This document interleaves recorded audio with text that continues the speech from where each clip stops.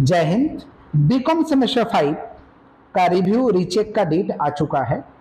सात मई तीन बजे से ये आपका ऑनलाइन सबमिशन इसका फॉर्म सबमिशन स्टार्ट हो जाएगा, जो कि पंद्रह मई तक होगा।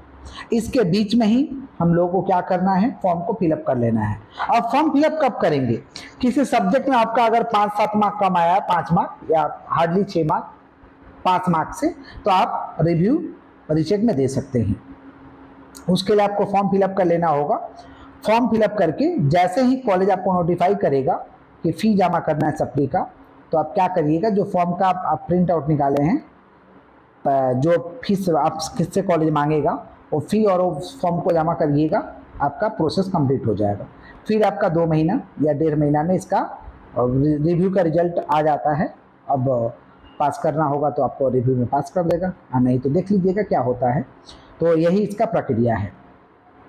तो मैं डेट रिपीट कर दूँ, सात मई से लेकर पंद्रह मई। जिनको भी रिव्यू चेक कराना है, करा सकते हैं। थैंक यू जय हिंद।